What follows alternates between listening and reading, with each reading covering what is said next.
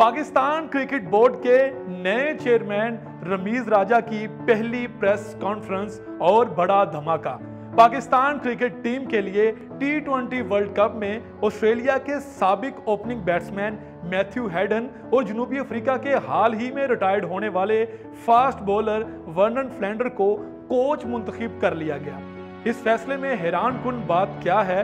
देखिए जैनुल इस्लाम की इस रिपोर्ट में।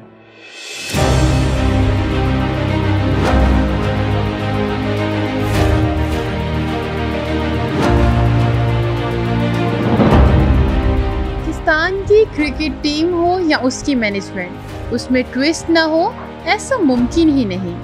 पहले क्रिकेट टीम के ऐलान में बड़े बड़े नामों को किया नज़रअंदाज।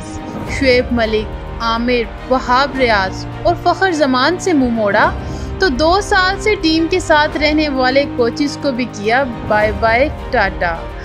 कोचिस की सीट खाली हुई तो बड़े बड़े सूरमाओं के मुँह में पानी भर आया। लेकिन बाजी वो ले गए जिन्होंने कभी कोचिंग ही नहीं की।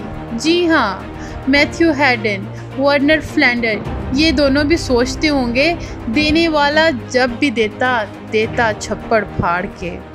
मैथ्यू हैडन और वर्नर फ्लैंडर की सिलेक्शन पर क्रिकेट हलकों में हैरानी तो मौजूद है, लेकिन रमीज राजा हमेशा गैर मुल्की कोचिज के ही हामी रहे हैं।